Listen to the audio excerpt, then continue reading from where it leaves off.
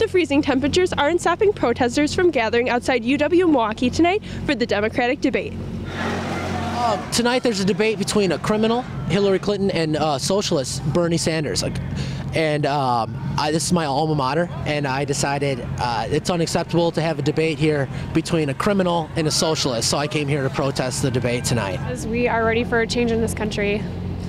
Um, and I feel that our uh, generation is ready and powerful, and I think that we forget we forget how powerful we are, and it's time to take that back.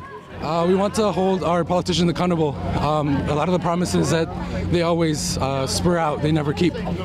Most of the protesters here tonight were in support of Bernie Sanders. I'm here to support the only candidate that I've ever felt with complete trust that he is not the lesser of two evils. He is a person that I want to put my confidence, complete confidence in. Well, he just stands for a lot of the things that I that I'm for. He's for uh, equal rights and equal recognition, whether you're lesbian, gay, bisexual, transgender. Um, he's had a consistent record. He voted against the Iraq War. He's for equal pay for women, $15 an hour. And Bernie is honest, and um, he believes in people getting a fair wage. He believes in Wall Street paying their fair due and getting rid of corporate war- welfare, and also not going into war to kill our children. I'm Hannah Kirby for MUTV News.